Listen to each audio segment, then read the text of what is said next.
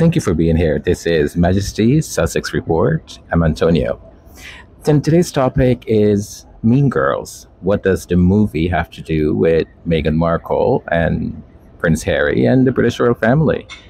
I'm presently in transit at um, the Connecting Airport in Houston. And do forgive me as I put this together in transit, and uh, there will not be a lot of fancy graphics or anything like that, but just sort of straightforward information. I hope you are okay with that, and um, forgive me for not um, bring in a certain graphic and image standard that um, I try my best to do, but I wanted to get this out to you today. So, with that said, Mean Girls, here we go. The mean girl archetype is a prevalent figure in media and popular culture, often represented as a character who is manipulative, popular, and as the name suggests, mean to others, especially towards those outside their social circle. This archetype can be found in movies, TV series, and literature. And while it might be amplified for entertainment purposes, elements of it can sometimes be observed in real world social dynamics.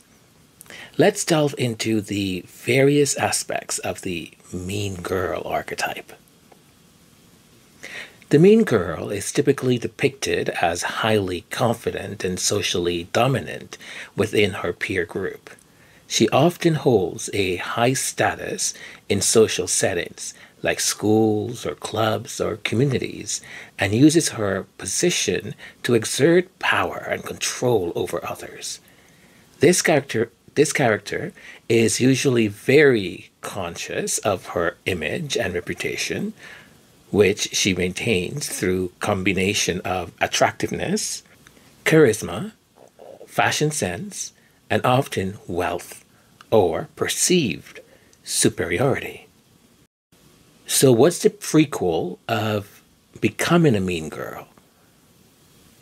The transformation into or the emergence of the mean girl can stem from various factors, both personal and environmental. One of them is insecurity. Underneath this surface, the mean girl may harbor deep insecurities and fears about her worth, appearance, and social standing. Being mean or controlling can be a defense mechanism to mask their vulnerabilities. Next is social conditioning. So, growing up in environments that prioritize material success, appearance, and social status over empathy and kindness can condition individuals to adopt a mean girl behavior to fit in or excel. Family dynamics. Family issues such as uh, lack of attention, too much pressure, or modeling after a similar behaving family member can contribute to developing such traits. Past traumas.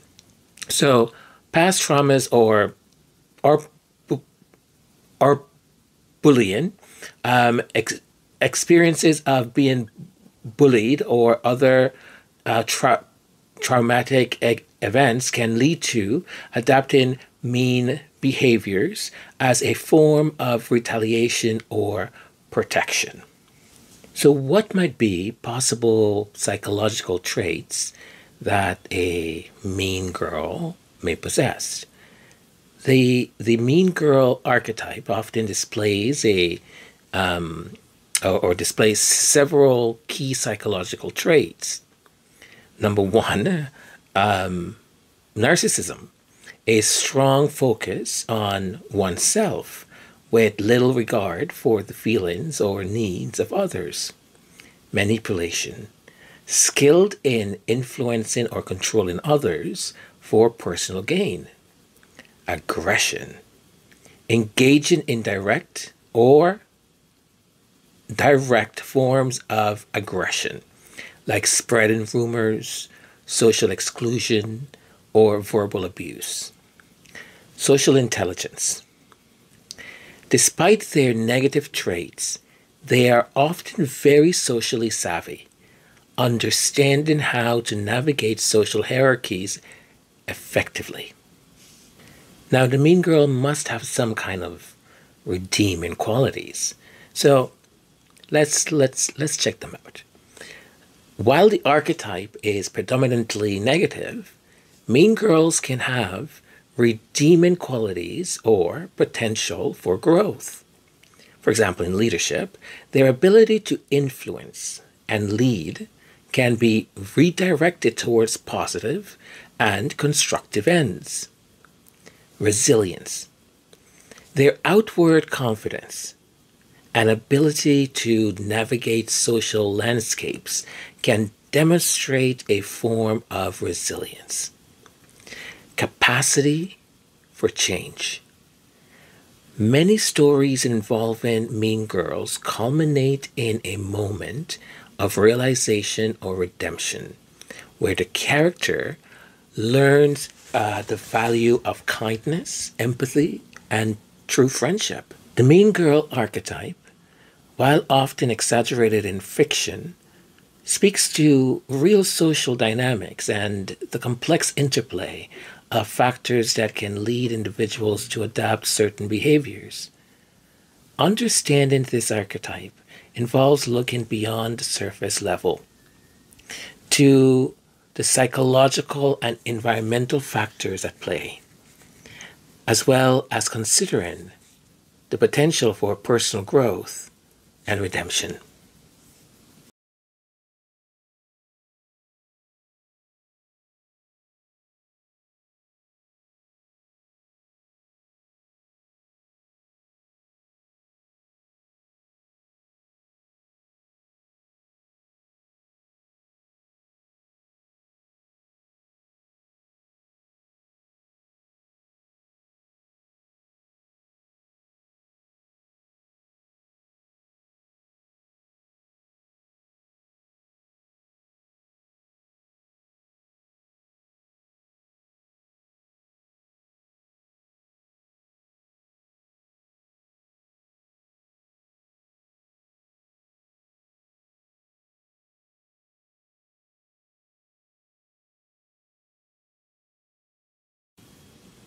In the grand gilded halls of Buckingham Palace, a modern tale unfolds, echoing the dynamics of a high school drama we're all too familiar with. This isn't just a story, it's a reflection, a mirrored reality of Mean Girls. That narrative that played out within the British royal family through a blend of real events and archetypical analysis, we dive into this saga of inclusion, exclusion, and the quest for acceptance in the most scrutinized family in the world. Act 1 The Newcomer. Once upon a time, Meghan Markle, much like Cady Heron, stepped into a world vastly different from her own. Bright eyed and hopeful, Meghan entered the royal family with dreams of making a positive impact. However, akin to Cady's initial foray into the plastics, Meghan soon encountered the complex dynamics of royal life. For Meghan and Harry's wedding, Kate also wore white. A seemingly benign choice, yet loaded with unspoken hierarchies and challenges to Meghan's place within the family. Act 2 The Glare and the Tears. As Meghan tried to navigate her new reality, instances piled up each a thread in the tapestry of court life. Kate's hateful glare at Meghan's and Harry's walk in alone at the Queen's Platinum Jubilee. A look can convey a thousand words, and in that moment, a narrative was reinforced. The story of Kate making Meghan cry over wedding details, only for it to be twisted in the public eye, serves as a painful reminder of the power of perception over truth. Act 3 The Easter Snob and Baby Brain. The saga continued with William and Kate's rebuke over a forgotten Easter tradition. Tradition? Harry claimed was fabricated.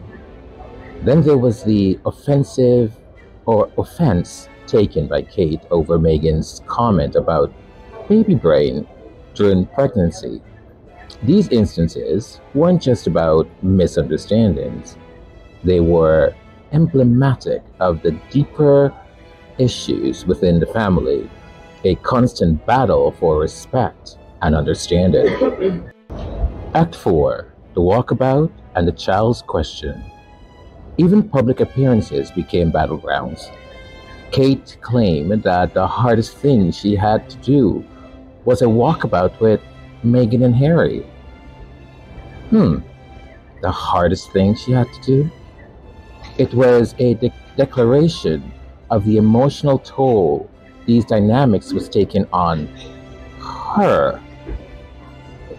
The visible annoyance when a child inquire, inquired about Meghan's wasn't just about the question, it was about the constant spotlight, the unending comparison, and the struggle to maintain her facade. Act 5 The Court and the Coats. The legal battle Meghan faced, the solitary fight against a tabloid for the invasion of her privacy, underscored the isolation within her own family. Jason K., you know who I'm talking about, offered to testify against Meghan. The coordinated wearing of similar coats by Kate, Zara, Sophie, and pulled in also the child. All were not just actions, but messages, each a demonstration of the internal alignment and allegations within the royal household. We gotta show her who rules. Mean, mean girls. Harry and Meghan's departure was not a mere relocation. It was an act of self preservation, a necessary step towards mental health and autonomy. In his memoir, Spare, Prince Harry unveils the depth of his feelings and experiences, offering a glimpse into the pain, the pressure, and the profound need to protect his family from the very institution he was born into.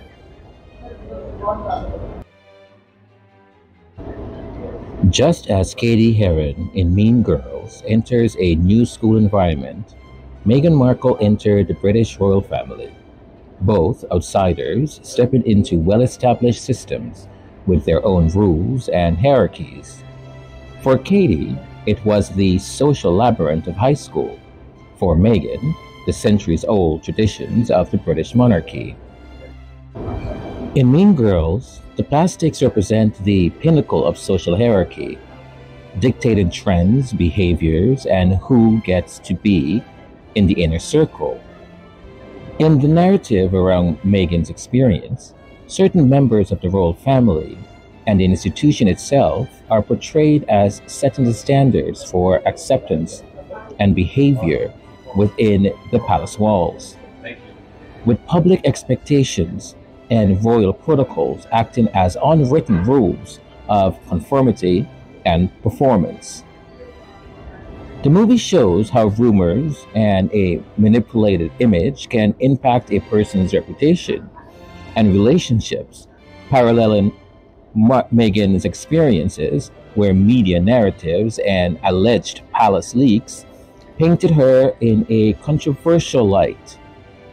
The dynamics of you Can't Sit With Us transforms into headlines fodder, where Meghan's actions and character were constantly scrutinized and often criticized. reflecting a struggle for acceptance and understanding within a framework that seemed resistant to change. Cady's journey is one of losing and then rediscovering her identity amidst the pressures of, of wanting to conform. Meghan's narrative, particularly after stepping back from royal duties, is similarly about reclaiming her narrative and identity. Her and Prince Harry's decision to forge a new path can be seen as a quest to define their lives on their own terms, away from the away from the dictates of an environment where um, they were that they found oppressive. Mean Girls tackles bullying and the isolation it can cause, themes that resonate with Meghan's candid discussions about her mental health struggles and feelings of isolation within the royal family. These themes highlight the emotional toll of trying to belong to a group that does not fully accept you. Just as Mean Girls concludes with characters finding common ground and rejecting the toxic dynamics of the past, Meghan's story has sparked conversations about the need for empathy, support, and reform in how we discuss and treat public figures. Her openness about her struggles has encouraged a broader dialogue about mental health, media responsibility, and the importance of supporting those who feel marginalized. In drawing these parallels, it's crucial to remember that while Mean Girls is a work of fiction designed for entertainment, the experiences of real people involve complex emotions and consequences. Both stories, however, underline the importance of kindness, understanding, and the strength found in authenticity and speaking one's truth.